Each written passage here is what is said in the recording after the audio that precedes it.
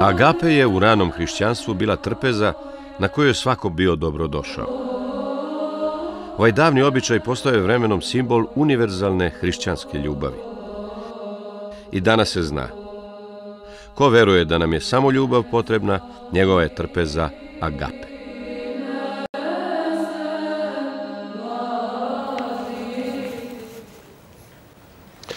Poštovani gledalci, dobroveče, gledate emisiju Agape. Večeras ćemo govoriti o kremanskom proročanstvu. Naš gost jeste gospodin Bojan Jovanović. Gospodine Jovanoviću, dobroveče i dobrodošli. Dobroveče, hvala. Još jedan put u Agape. Hvala. E, vi ste napisali zajedno sa gospodinom Mirkom Demićem a, u izdanju službenog glasnika knjigu Čitanje proročanstva i prosto da pokažemo da je zanimljivo i ona ovaj, štampana, tako da na jednom listu postoji vaš tekst, odmah na susednom kreće i tekst ovaj, gospodina Mirka Demića. E, njegov se zove Utvare četvrtog proroštva i to je ovako više jedna e, poetska predstava o proročanstvima uopšte, a vaš esej se zove Izrečeno i prorečeno ili o predskazanjima kremanskih vidovnjaka. Pa evo, predlažem da započnemo ovaj razgovor uopšte tim fenomenom prorokovanja, predskazanja, pošto vi ovde u knjizi pravite e, razliku između toga i smatrate da nije baš najsrećniji naziv da se Tarabići nazivaju prorocima. Kako je to išlo kroz istoriju, prosto e, ta ljudska potreba da se zaviri u budućnosti i koliko je moguće da se život predvidi? Pa ona je konstanta i zapravo ljudi su od najstarijih vremena, od najranih vremena nastojali da zavire u budućnost. Nastojali su da otkriju ono šta ih čeka. I zato su i koristili e, raznorazne metode, tehnike, ali uglavnom su se oslanjali i na ono što su među vremenu i zaboravili. To je ono što imaju gotovo sve životinje, a što ljudi povremeno počinju da bivaju svesni, čega počinju da bivaju svesni. Dakle, to je ono što dolazi u kriznim trenucima kod ljudi. To je ono vreme kada dolaze u uh, upitnost njihovo postojanje i kada progovara onaj arhetip uh, spasioca na neki način da im skrene pažnju da ipak postoji neki glas koji može da se sasluša.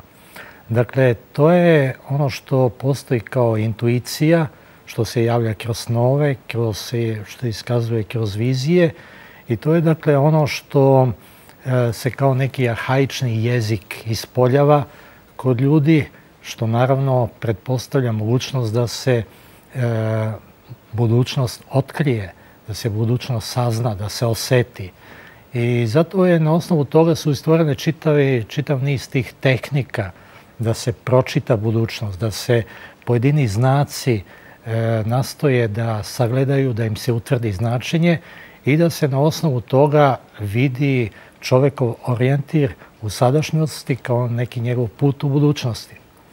Kada dakle, postavite pitanje o razlici između onoga što postoji dakle, kao tradicionalna, arhaična kultura i ono što se obično naziva proricanjem i prorokovanjem, onda tu je zapravo reč o tome da kada se koristi termin prorokovanje, proroci, onda se ima u vidu da kroz te ljude koji su proroci progovara jedna viša sila, to je Bog, božanstvo. E, ono odabira, Bog odabira ljude kroz koje saopštava nešto važno određenoj zajednici ljudima i zapravo oni su ti koji prenose Božje poruke i kao takvi se nazivaju prorocima. Jel? A proročanstvo je onaj tekst ili onaj glas kroz koji se dakle Bog obraća ljudima. E, ukoliko imamo u vidu dakle takvo jedno određenje, onda teško da bismo mogli to da primenimo na ljude koji su slušali neke glasove, koji nisu bili dovoljno identifikovani, koji su govorili da im se neka sila obraća, da progovara kroz njih, da oni govore kako im je kazano, i da zapravo u takvom jednom odnosu prema toj sili gde se, on, gde se oni ponašaju kao posrednici, kao mediji, E, mi možemo pre da govorimo o nečemu nižem sa stanovišta razvoja religijske svesti, dakle to je ono što je vezano za paganstvo i za tu impersonalnu silu, dakle koja je više sudbinskog karaktera od onog božanskog koje dakle pretpostavlja jednu višu svest i saznanje o tome da Bog bilo starozavetni ili hrišćanski progovara kroz određene pojedince. U tom smislu dakle treba praviti razliku između proroka i proricatelja i po mom sudu, dakle, kada govorimo o Tarabićima, reč je prvenstveno o našim narodnim proricateljima. E pa da. Evo, e, krenut ćemo priču i o njima, ali možda je bolje još da kažemo nešto o samom e, mestu odakle oni potiču. To je Kremna, to je planina Tara i e, postoji to neko mišljenje da je to mesto posebno, da ona ima neke magnetska strujanja koja su čak po nekim verovanjima, odnosno i nekim podacima koliko su oni istiniti, da nije moguće snimiti iz vazduha, da su tada neke, ovaj, neki pokušaj iz aviona uh, propali jer je slika bila zamućena. Ali i vi sami u knjizi kažete da se to danas ne dešava, da na Google mapu može najnormalnije da se snimi čitavo to područje. To jeste tačno, ali to ima jednu realnu osnovu. Zbog čega u ono vreme kada je ipak tehnika snimanja bila na nižem nivou od današnjeg, e, su te fotografije bile zamučene. Zašto su, na primjer, neke letilice iskretale sa tog mesta i tako.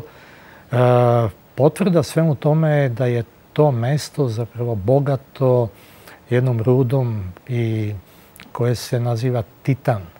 To je dakle gvozdena, jedna ruda koja je jača od e, čelika, lakša od njega i koja ima određena geomagnetska svojstva. E, ukoliko znamo dakle, to, onda e, je jasno da to područje e, i po svom nazivu kao Kremna, jer taj naziv dolazi od kamena koji je kremen i zapravo čitavo to područje, kako su kasnije opisivali, ima e, ne samo određeno e, svojstvo i specifično zbog svih tih karakteristika, bilo e, geofizičkih ili prirodnih, već ima svojstvo i da oblikuje ljude. Zbog toga su oni koji su pokušali da utvrde uzroke zašto je to mesto tako bogato prorocima nastojali prvenstveno da opišu adekvatno to mesto i da pokažu da tu priroda čini svoje, da kroz tu prirodu i kroz to mesto progovara neki duh prirode, duh samog mesta koji nesumnjivo oblikuje i takve ljude, pa se oni kao takvi i potvrđuju svojim proročkim sposobnostima.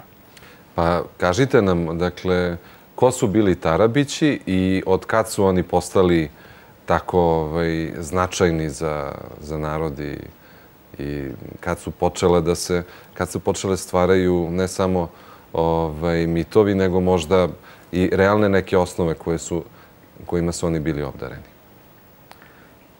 Priča je veoma složena i prvi podaci zapravo tim ljudima koji su iz Kremna, iz tog područja pokazali neke sposobnosti prolicanja su vezani za početak 19. veka. Kaže se i u narodnoj tradiciji postoji priča o tome da je jedan od tih proricatelja pokazao sposobnost kada je Milošu Obrenoviću, tada 25-godišnjakom, prorekao ono šta će mu se desiti. E, kasnije je priča povezana dakle, sa periodom e, silaska i odlaska Miloša sa vlasti i ubistva Mihajla Obrenovića. To je dakle period od e, 1868. i do 1903. E, kada se u stvari gasi dinastija Obrenovića. U tom periodu se zapravo utemeljuje kremansko proročanstvo. I sve ono što je dakle, povezano sa tim e, dolazi nam kroz raznorazne podatke, informacije koje su obeležili i etnolozi, etnografi. Dakle, prve podatke imamo iz pera Milana Miličevića, koji je u svojoj znamenitoj knjizi Srbi seljaci, gde je nastojao da da jednu obuhvatnu sliku o tradicionalnoj kulturi Srba, naveo između ostalog u poglavlju o proricanju da postoje ljudi u mestu Kremna koji su zapravo izbili na glas i zapravo e, Milan Miličević naziva jedno od njih, to je neki navodno Lazo, koji ima sposobnost proricanja. E, nekoliko godina ranije, dakle, ukoliko je Miličevića knjiga objavljena 1894. godine, već 1892. E, Pera Todorović u svojim malim novinama beleži jednu, jedan kratak tekst o tome da je postojao neki Tarabić e, koji je imao sposobnost proricanja. On ga drugačije naziva od Miličevića, ali nesumnjivo to je već pokazatelj da u narodu postoji, dakle, jedan e, svojevrstan mit o tome da ljudi iz tog područja imaju sposobnost proricanja i da se njihov glas čuje. Dakle, e, sa silaskom i završetkom perioda e, dinastije Obrenović nastaje onaj period kada stupa na scenu dinastija Karađorđević, i zapravo jedan novi period između dva svetska rata kada se preko Radovana Kazimirovića i njegovih tekstova, najpre objavljenih u Niškom glasniku već 1915. a onda u vremenu 1938. da bi sve on sintetizovao u svojoj monografiji o našem narodnom prolicanju, čaranju i kremanskom proročanstvu, to dakle bilo sintetizovano gde on iznosi zapravo e, ono što mu je rekao Zaharije Zaharić. Dakle, i tada imamo konstituciju već onoga što se, bi se moglo nazvati tekstom ili knjigom kremanskog proročanstva. Znamo, ta knjiga je objavljena 1940. neposredno pre rata i da je e, nakon rata a, ta knjiga zajedno sa celokupnom tradicijom vezanom za duhovnu kulturu bila potisnuta i zaboravljena, da bi negde 80. godina sve to dobilo na aktuelnosti, javili se e, potrebe za novim čitanjem i tumačenjem kremanskog proročanstva i naravno javili se knjige sa novim verzijama koje su pojedini autori navodno otkrili, napisali posebne knjige da bi predstavili to kao autentično kremansko proročanstvo. Čitava, dakle, E, ta priča o kelenskom proročanstvu ima nekoliko važnih segmenata. Izdvojili smo, dakle, ta tri, onaj koji prethodi e, godini 1868. Dakle, period onda od 68. do 903.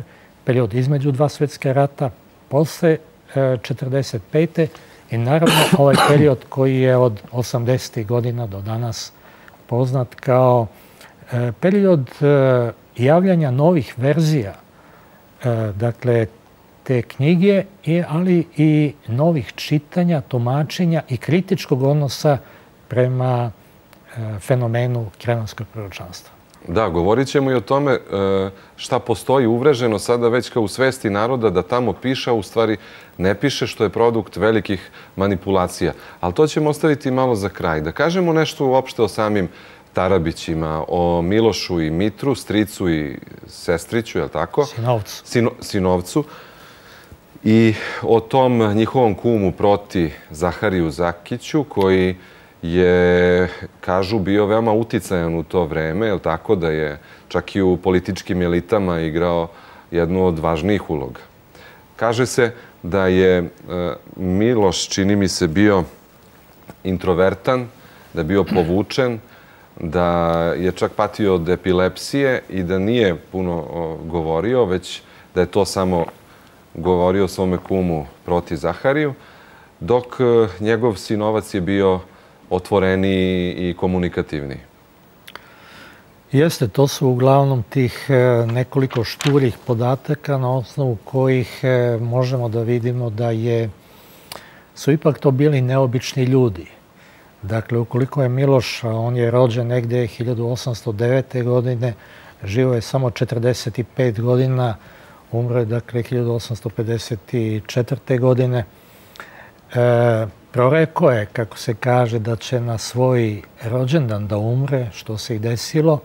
I on je imao veliku sposobnost proricanja, e, tako da je u stvari bio on glavni proricatelj. E, njegov sinovac, Mitar, rođen 1829. živo je 70 godina do 1899. On je bio na neki način eksproricatelj. On je govorio ono šta mu je stric rekao, šta je bilo poznato, ali naravno je i nakon stričeve smrti komunicirao sa njim. I ostavljeno je u podacima da je on i cele noći e, mogao da razgovara sa e, stričevim duhom, stričevom dušom, koji mu se obraćao na taj način da ga je obaveštavao onome što je on smatrao važnim za tekući život, a naravno tu su i podaci koje su od opšteg značenja. E, I upravo preko Mitra Tarabića e, je e, Zaharije Zakarić i zapamtio ono što je bilo najvažnije da bi sve to preneo Radovanu Kazimiroviću koji je ostavio beleške o tome. Zanimljiva je priča da u stvari Mitar Tarabić nije samo Zahariju Zahariću govorio onome što, je, što mu je stric govorio i što je sam predviđao, već je govorio i drugim ljudima. Tako da postoje verzije koje zapravo pokazuju da ona o kojoj je pričao Zaharije Zaharić nije jedina. Kao što i sam Zaharije Zaharić nije samo uh, Radovanu Kazimiroviću govorio, već i drugim ljudima. Tako da iz svega se stvorio jedan konglomerat priča i onda je traganje za onom verzijom koja se smatra važnim bila bitna u tom smislu što se e, pronosio glas da se u stvari oni koji su čuli nešto od nekog od e, prenosioca tih poruke ostavili pisane zapise, sakrili to u temeljima svojih kuća, a onda se ispostavilo kada su te kuće rušene da se nije otkrivao taj zapis. To je dakle bio dovoljan povod da se i dalje veruje da postoji neki autentični zapis i da se na osnovu njega zapravo e, i dalje traga, pa je na talasu tog interesovanja su stvoreni i falsifikati koji se predstavljaju kao autentični zapisi kremanskog proročanstva. Dobro, sad iz ove naše pozicije koliko je lako uh, onda ukazati na to uh, gde su uh, Tarabići zaista iznosili neka autentična proricateljska zapažanja, a gde je bilo manipulacije, čini mi se najviše u političke svrhe, gde se manipulisalo na taj način tako što se retroaktivno nešto dopisivalo, ono što se zapravo već dogodilo. Pa na osnovu onoga što Kazimirović je napisao, može da se napravi jedna tipologija. Dakle, da je Miloš i Mitar su govorili, uglavnom predviđali sudbinu svojih bližnjih i zapravo oni ko, sa kojima su bili u neposrednoj vezi. Oni sa kojima su delili svoj životni prostor i tadašnje vreme. Dakle, to je čitav niz ljudi koji su bili E, sa njima u kontaktu, među njima dakle e, i sam prota Zaharije Zaharić kao i e, njegova familija. Drugi aspekt tih njihovih proricanja odnose na neke opštije događaje. I to je ono o čemu zapravo govori to proročanstvo, dakle da nisu samo važni lični i privatni odnosi među ljudima, već e, se taj dar proricateljski na neki način koristi da bi transcendirao i tadašnje vreme i tadašnji prostor i ukazao na ono što je e, važno za zajednicu, važno za naciju. I vidimo kako je u stvari ta priča vezana za one najvažnije događaje koji su obeležili zapravo istoriju Srbije. To je dakle period kada se uspostavlja državna samostalnost, kada počinje Srbija da se potvrđuje kao država, ali ujedno i da se dovodi u pitanje. E, atentatom na kneza Mihajla, dakle, e, može se smatrati jednim ključnim događajem koji je jednog od naših najboljih e, vladara, najprosvećenijih, čija je smrt nesumljivo duboko uticala na sudbinu Srbije, da se dovede u vezu sa proricateljima i da se zapravo počne preko tog događaja koji se smatra da je bio nagovešten, naslučen i počne da otkriva ono što se kasnije desilo. Dakle, to je ono čemu govori Kazimirović, ali e, čitav taj period je u stvari najbolje objašnjen preko tekstova o kojima je pisao Pera Todorović. On je zapravo prvi počeo da piše o tom proročanstvu i u svojim malim novinama on je nazvao to jedno proročanstvo, nastojeći dakle da taj period Srbije od 1868. Eh, od eh, ubistva kneza Mihajla pa do majskog prevata 903 uobliči na jedan način koji je, iako je pisan kao feljton i zamišljen kao roman, nosio određenu e, znatiželju tadašnjih čitaoca da su oni navodno mogli da otkriju kroz ono što je bilo prethodno nagovešteno, naslučeno, prorečeno i događaje koji, su, koji bi trebalo da slede potom. Da, ali Odgovorite mi ovo, se zna otprilike dakle, šta je autentično, a šta je kasnije retroaktivno dopisivano?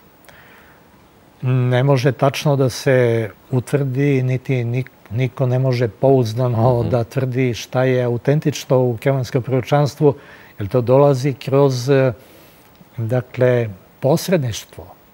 Posrednik je bio najpre e, Zaharije Zaharić, a onda i onaj koji je pisao, dakle, sam Radovan Kazimirović. Ukoliko pratimo tu liniju, onda vidimo kako je i sam Radovan Kazimirović menjao uh, svoje tekstove. Od prve verzije 915. preko 38. pa do knjige do 40. godine, tu su se menjale uh, raznorazni elementi. Mi vidimo kako je Pera Todorović, koji je najpre u svojim malim novinama, kad je nagovestio i počeo da piše jedno proročanstvo i razglasio to da će prvi put da bude objavljeno nešto veoma značajno kroz jedan feljton i roman i to je nagovestio da će autor toga da bude jedan poznati političar i pisac, aludirajući time na Čedomilja Mijatovića. E, a sam Pera Todorović u stvari bio autor tog teksta, onda vidimo kako su kroz promenu i kroz prirodu samog tog feljtona e, došli do izražaja oni elementi koji su e, bili više u funkciji atraktivnosti i znatiželje tadašnjih čitalaca i koji zapravo nisu imali nikakve veze sa e, kremanskim proročanstvom, već je ono što se desilo 1903. godine bio veliki povod da nakon ukidanja malih novina u kojima je Pera Todorović tada objavio to svoje jedno proročanstvo, iste godine, 1903. sa pokretanjem novog glasila, ogledala, Pera Todorović retroaktivno sada piše ponovo ono što se desilo, ali sa stanovišta da je to bilo sve prorečeno. Dakle, to je jedan moment koji pokazuje kako e, se uobličava tekst e, jedne knjige i kako ona postaje e, važna za jednu sredinu, je nekritički odnos prema napisanom postoje važan u smislu neupitnog verovanja u to da je on i stvara. Koliko je to sve bilo fascinantno, ja ću evo da se poslužim jednim primjerom. Dakle, Pera Todorović kada piše crno proročanstvo u ogledalu i kada nagoveštava da će sada da objasni i da predoči kako je bilo, on u stvari iznosi jednu fiktivnu verziju događaja i navodno svojih razgovora sa kraljicom Dragom i kraljom Aleksandrom neposredno pre njihovog ubistva. On je e, do te mere, Pera Todorović, bio e, lucidan autor i obdaren pisac da je tako sugestivno to predstavio da su i neki potonji autori koji su se bavili kremanskim proučanstvom imali nekritički odnos prema tome. Dakle, ukoliko imamo u vidu da je na početku veka, bez medija, bio ipak e, narod znatiželjan i mogao da poveruje u ono što je Pera Todorović pisao, onda a, teško možemo da razumemo kako jedan Nikola Milošević je mogao da poveruje Peri Todoroviću i da ono što je Pera Todorović zapravo pisao i iznosio kao argumente, pogotovo kad je tumačio snove, snove koje je Pera Todorović izneo, navodno što mu je kraljica Draga i kralj Aleksandar govorili da su sanjali neposredno pre ubistva isti san, kako ih e, napadaju besni psi i kako u stvari to bio nagoveštaj onoga što će se desiti. Nikola Milošević je u svom tumačenju kremanskog proročanstva i teksta Pere Todorovića, naravno i Čedomira Mijatovića, e, se poslužio argumentacijom da ukoliko je Lav Tolstoj mogu da izmisli ono što se desilo e, likovima iz Ane Karanjine, Vrovinskog i Ane, da sanjaju isti san, što je u stvari bila, bio plod piševe imaginacije, onda, kako kaže Nikola Milošević, mi možemo da budemo srećni jer je Pera Todorović preneo jednu autentičnu verziju nečega što se stvarno dogodilo. Dakle, on je toliko poverovao u ono što je Pera Todorović pisao, da nije e, u njemu proradilo ono što je bilo karakteristično, dakle, za ovog našeg velikog filozofa i mislioca. Dakle, taj kritički odnos je zapravo kaže da je i tekst e, Pere Todorovića jedna fascinantna literatura koja je na svoj način u ono vreme, a naravno i u vreme koje je sledilo potom, moglo da fascinira čitoce koji su poverovali dakle, u to i smatrali da je to realnost. Da. Pa da li to sve govori u prilog da e, postoje oni autori koji tvrde da je čitavo to kremansko proročanstvo u stvari formirano u službi smene Obrenovića sa, sa vlasti?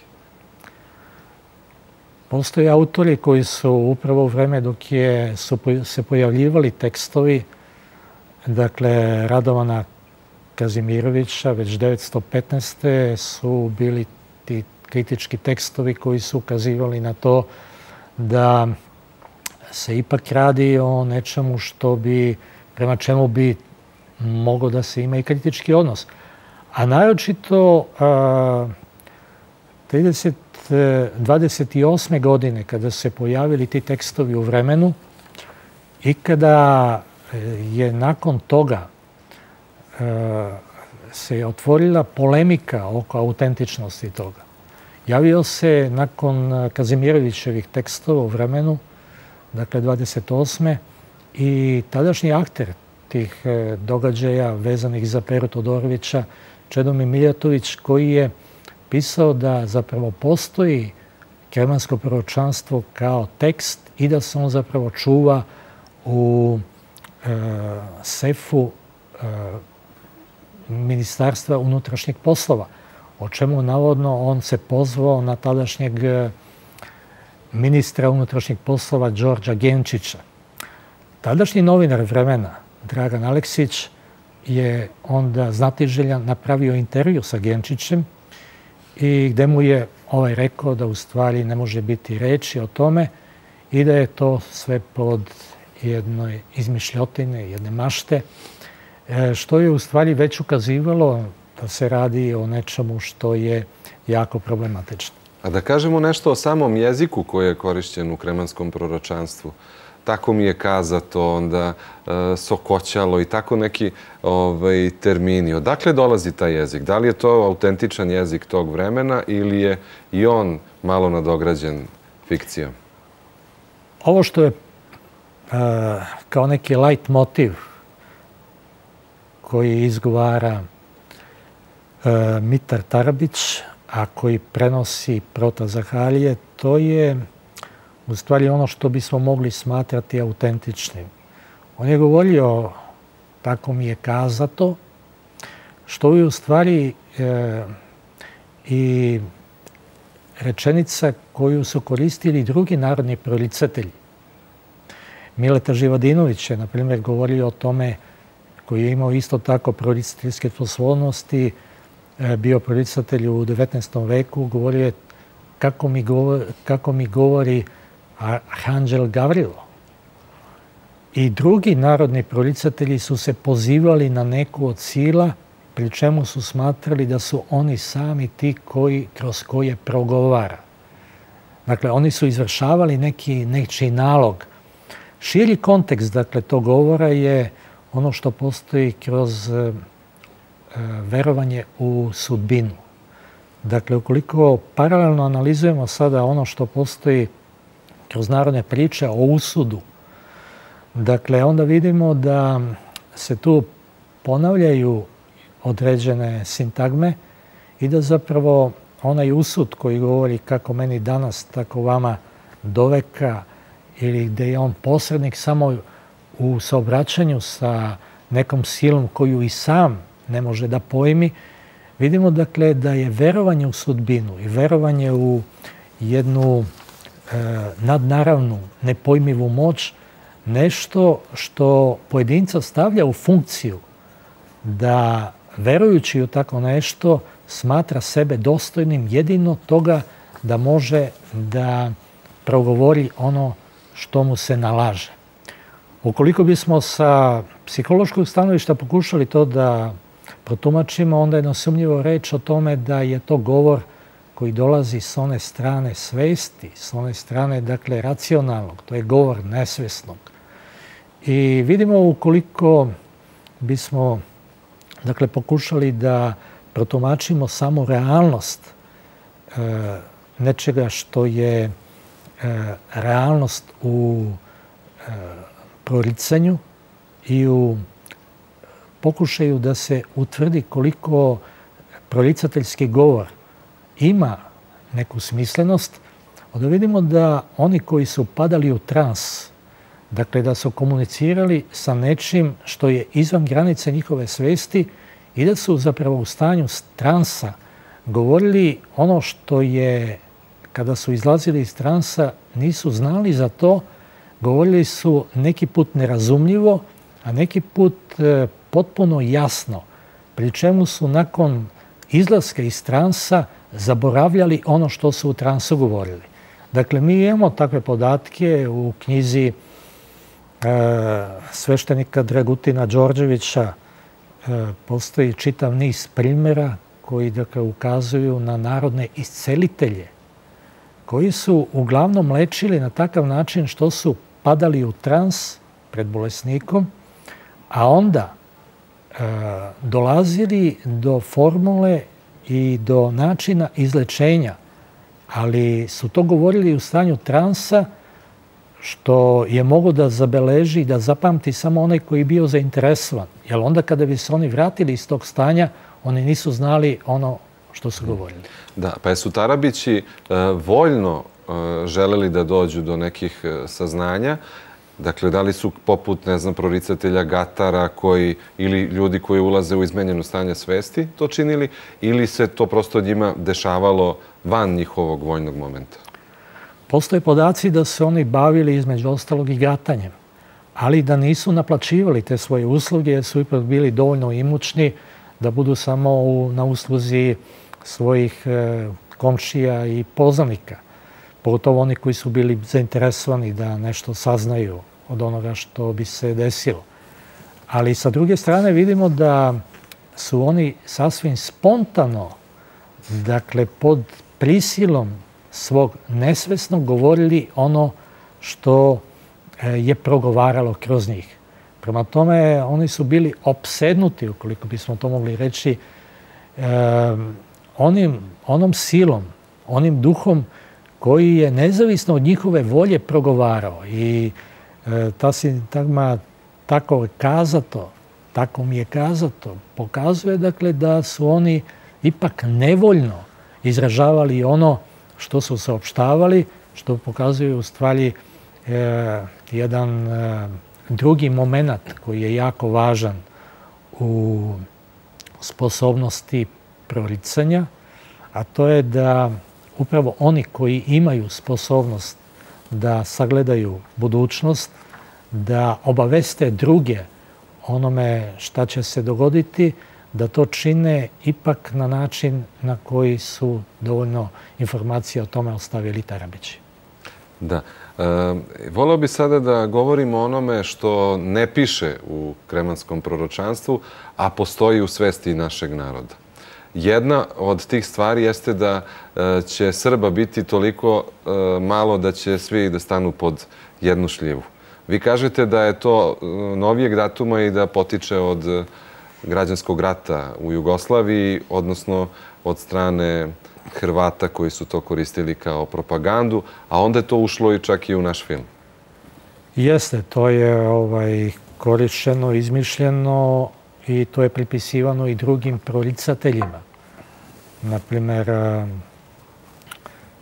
Miloju, proricatelju, koji je isto tako jedna izmišljena ličnost, da je odgovor na u stvari to bilo da je to tačno, ali u smislu simbola. Da će Srbi stati pod, zast, pod jednu šljivu, ali pod šljivu kao simbol koji je na zastavi koja bi trebalo da simbolizuje nešto znatno šire od onoga što bi pod krošnjem jednog drveta moglo da se podrazumeva.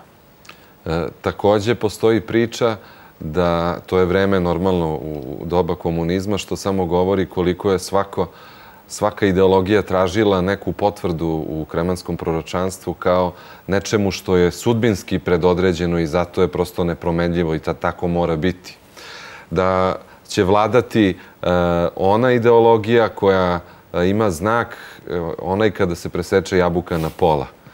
A mi znamo da to, ovaj, da tako, da je to zvezda. Jeste. Jeste da je to zvezda i to je u stvari dopisano. To je primjer kako su ta proročanstva i ti tekstovi, to što je izrečeno uvek u funkciji aktuelnosti, dakle vremena koje je neposredno, koje je tekuće i koje je uvek e, u funkciji neke politike. Dakle, kroz e, aktualizaciju onoga što je veoma važno u jednom trenutku, mi čitamo i političku dimenziju tih e, prolicateljskih tekstova, tako da oni nesumnjivo od davnina imaju i upravo tu dimenziju. Dovoljno da se prisjetimo samo kakve su manipulacije zapravo vršene u okviru e, nekadašnjih institucija, e, dnev, drevnih e, institucija proricanja kao što je delfijsko proročanstvo, pa da zapravo vidimo da to nije ništa novo. Da, da. Ajde, evo kad ste već to sada, mada sam to teo za kraj, E, pošto evo sada u ovoj godini slavimo e, Milanski edikt i e, čak čitav, čitav serijal koji se emituje je naslovljen upravo tim temom i ona reklama ide ovim znakom pobeđuju, što asocira na taj navodni Konstantinov san koji mu je rekao kojim će znakom da pobedi neprijateljsku vojsku. Koliko je to legenda a koliko je možda legenda postala stvarni događaj koji čak i istoričari citiraju? Ukoliko se pozovemo na one tekstove koji prvi dakle, govore o tome, a, to je laktancije i euzebije cezarijske, mi vidimo da tu već postoji neka razlika. Dok laktancije govori o snu, dakle u kome je, u kome je e, Konstantinu sugerirano da preuzme određeni znak koji je snivo i da taj znak e, ugravira u štitove svojih vojnika, onda vidimo da je razlika između tog teksta i ono koji je donosi Eusebije Cezarijski upravo u tome da ovaj drugi autor govori o najpre viziji, dakle da je Konstantin prvo imao viziju e, Hristovog monograma, a da onda kako je e, bilo to u sumrak kada je pao mrak, onda je on u snu dobio u stvari jednu poruku. Ono što je, dakle, evidentno, to je da je reč o jednoj legendi. Dakle, ni pre, ni posle, a nije ni tada se javio taj znak na nebu, a pogotovo nije on bio e, obeležen slovima da će u tom znaku Konstantin da pobedi. Reč je o tome da je to legenda koja naravno kao i svaka legenda je izmišljena i koja je bila prvenstveno u funkciji uspostavljanja nove hrišćanske ideologije koja je e, koristila Konstantinu u potanjem osvajanju vlasti i u utvrđivanju legitimiteta te vlasti. Argumenti za to su upravo u onome što obeležava dakle, samu tu pobedu. Ukoliko je Konstantin preko sna koje mu je sugerirano došao do najvažnije pobede u e, životu, a onda je nakon osvajanja Rima u znak te pobede i podigo slavolu koji danas postoji u Rimu, na kojem, budući da je najbogatiji, nemate ni jedan znak hrišćanski, a pogotovo ne onaj koji bi ukazivao na taj značajni događaj, već postoje, što se religijskih simbola tiče, oni koji su paganskog karaktera, a to je simbol meseca i simbol sunca, dakle selena i sol, onda dakle, možete da se zapitate kako jedan car koji je dakle, pobedio uz pomoć novog hrišćanskog boga, čije savete poslušao i ukoliko je sagradio slavoluk u znak tek pobede, je mogo da izostavi, da makar simboličko ne predstavi tako jednu značajnu stvar kao što je bio taj hrišćanski simbol. Jer ne zaboravimo, taj e, slavoluk podignut neposredno nakon bitke. Dakle, on je od e, 915. već završen. Konstantin ima zapravo svu vlast u svojim rukama i zapravo umeđu vremenu se i donosi Milanski edikt dakle, 313. I ukoliko car nije mogao makar kroz jedan simbol koji je veoma važan, nakon donošenja Milanskog edikta, edikta o verskoj toleranciji, da je hrišćanstvo dobija značajno mesto i ravnopravnost u religijskom smislu, onda zapravo mi se pitamo da li je to što se dogodilo zaista realno ili je reč o nečemu drugom. Po da, mom dubokom da- mišljenju, da... reč je dakle o jednoj e, značajnoj legendi koja je e, toliko značajna da e, je nesumljivo da se ona može povezati i sa nekim snom koji se kasnije možda e, koji je kasnije snevao Konstantin, ali sigurno ne e, u vreme koje mu se pripisuje. Da, evo ja bih pročitao kako ste vaš esej završili. Kažete, zato se do danas i veruje u taj Konstantinov san onako kako to čine snevači, ne pitajući se da li je možda vreme za buđenje. Ali evo da se vratimo na kremensko proročanstvo. Ostalo nam je možda još pet minuta samo. E, apropo tih stvari koje su vezane za manipulaciju i ono što nije rečeno i stvari koje su dopisane, a neke čak nisu ni upisane u kremansko proročanstvo. Jedno je jasna aluzija na Tita da će doći na belom honju hromi junak koji će doneti slobodu i, i ne znam šta.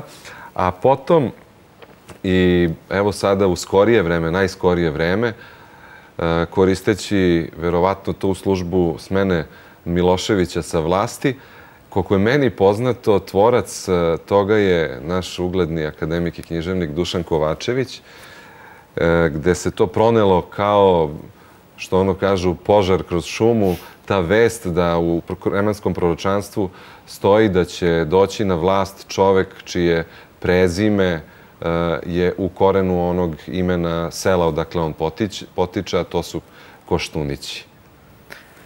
Jeste, to je izmišljeno i to je Delovan. autor, autor tog, e, tog teksta je i priznao da je to učinio Naravno, to je imalo veliki efekat, tim pre što je to govoreno na tadašnjim trgovima i da se manipulisalo time u tom smislu da je to pronađeno kao deo nekog e, nepoznatog teksta.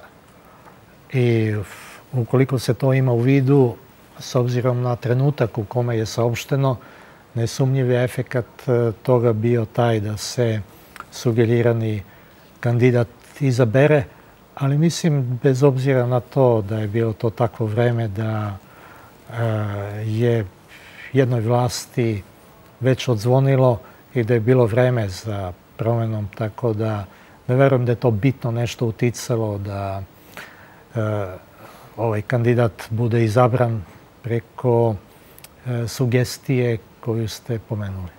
Da, ali evo da analiziramo možda i ovaj fenomen. Eh, koliko to što se proširi kao neko prorokovanje, zaista onda i vodi ljude ka ostvarenju toga, iako je možda zaista i izmišljotina. Eh, vi ste mi rekli, pre nego što smo ušli u studio, eh, jednu zanimljiv događaj da devojka u selu koja je važila za ružno pače, onako estetski nije bila baš nešto privlačna, u dogovoru ljudi koji su bili tu u njenom okruženju, oni su odjedan put počeli da je hvale kao izuzetnu lepoticu i ona je to slušala duže vreme i odjedan put je doživjela transformaciju ne samo kroz samopouzdanje, nego je ona izgleda stvarno poverovala u to što je kasnije se odrazilo i na njen fizički izgled da je zaista i postala lepa devojka.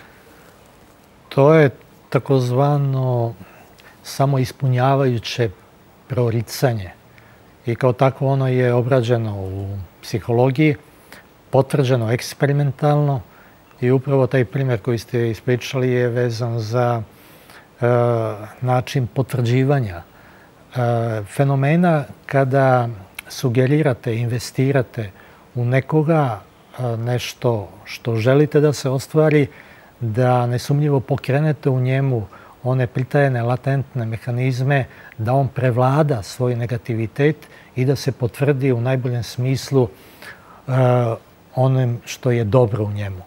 Dakle, to je ta interakcija između, uh, ne bi se sada moglo to nazvati, uh, kako su psiholozi to nazvali, samoispunjavajuće uh, proricanje, već više samoispunjavajuća prognoza – Dakle, to je ono što mi e, kada želimo da se nešto dogodi, e, imamo predstavu o tome da to i bude, ali onda da bi to se i ostvarilo, mi e, nastojimo da investiramo upravo svoje želje i preko aktera ostvarenja tih naših želja pokrenemo u njemu upravo ono što može da dovede i do njegovog samopotvrđivanja. Prema tome mi vidimo kako to na nivou jednog marketinga postoji, da je u stvari to potvrda one poznate engleske e, teze da ništa ne uspeva kao uspeh i da zapravo kroz e, psihološku obuku koja se iskazuje u izjavama naših sportista, jer kada dožive neki neuspeh, da onda ponavljaju u stvari ono što su naučili, da treba da budu pozitivni, da treba da odbace ružne misli, da se raduju pobedi, da poraz ne znači ono što bi trebalo da znači i da je, su oni na putu prevladavanja tih nevolja ka nekom novom uspehu. Da, evo ostalo nam je možda stvarno još minut, dva do kraja, pa uh, eto kao neki zaključak, prosto da kažemo da uh, je veoma značajno govoriti o ovim stvarima, po mom sudu, uh, uopšte o tim fenomenima, ako su zaista velika imena iz sveta psihologije i psihoanalize kao što je Sigmund Freud i kasnije Carl Gustav Jung se bavili tim temama kroz teoriju sinhroniciteta ili Freudovo mišljenje da je taj fenomen telepatije u stvari relikt prošlosti jer su ljudi nekada van čulno govorili, što je dosta ovako zanimljivo zapažanje. Kažite nam vi na kraju neku, neku sublimaciju ove teme, jer nadam se da smo ovaj, stvorili sliku da nije lako govoriti o kremanskom proročanstvu, jer je veoma složena jedna duhovna tvorevina koja dugo, dugo traje u našem narodu. Za savremenog čoveka je nesumnjivo fascinantno da postoje pojedinci koji umeju da intuitivno osete ono što dolazi. Dakle, poneki da vide budućnost. Međutim, ukoliko mi budemo malo kritičniji prema našoj racionalnosti, mi vidimo da svi mi imamo sposobnost da naslutimo budućnost, samo što tu sposobnost potiskujemo. Ono što je najvažnije, zapravo nam se pokazuje ili kroz neki intuitivni predznak, kroz predosećanje ili preko snova.